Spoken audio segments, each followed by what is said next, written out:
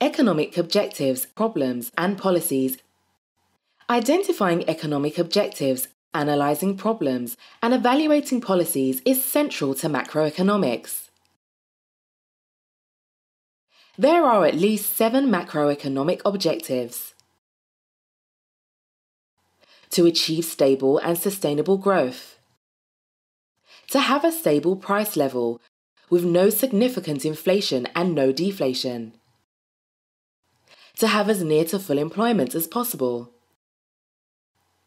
To have a balance of payments with the rest of the world.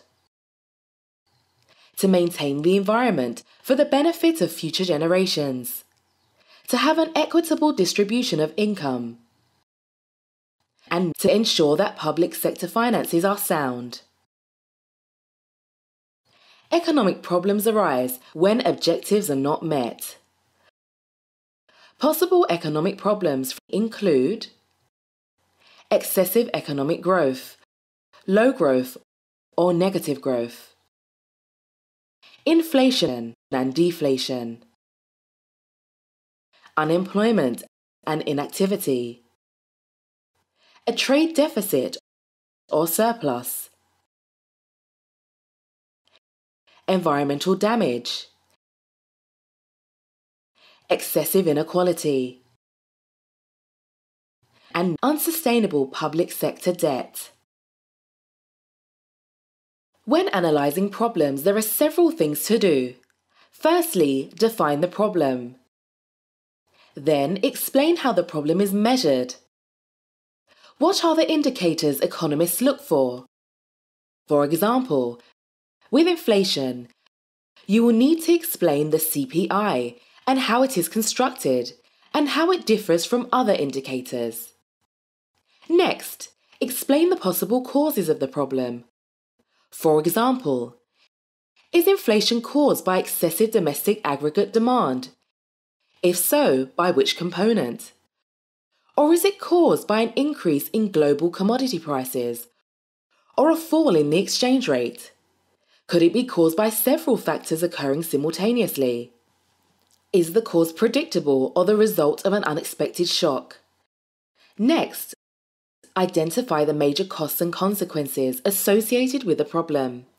These might be significant and difficult to deal with, or they may be temporary and self correcting. In terms of choosing policies to implement, the most suitable policy or mix of policies must be selected and explained. For example, inflationary pressure could be dealt with in several ways, such as through a monetary contraction by the central bank, raising interest rates, or by long term supply side improvements in evaluating policies. Firstly, identify any constraints against the policy working. These might include the time it takes to work, or the cost incurred in implementing and operating the policy. There may also be political or legal constraints.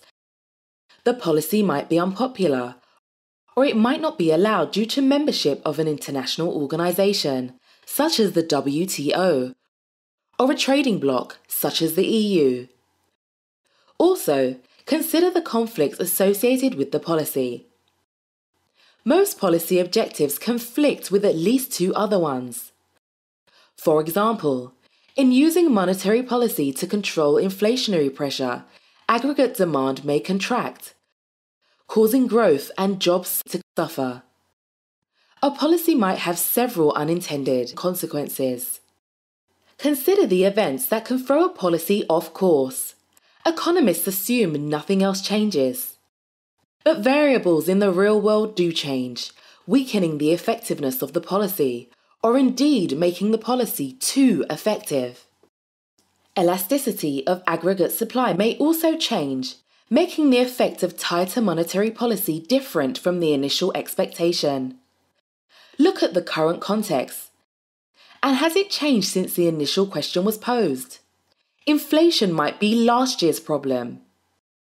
Finally, keep critical distance by questioning the questions.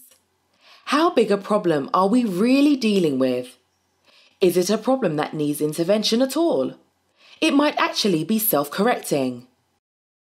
Is there enough information to make a judgment? To see more videos, go to www.economicsonline.co.uk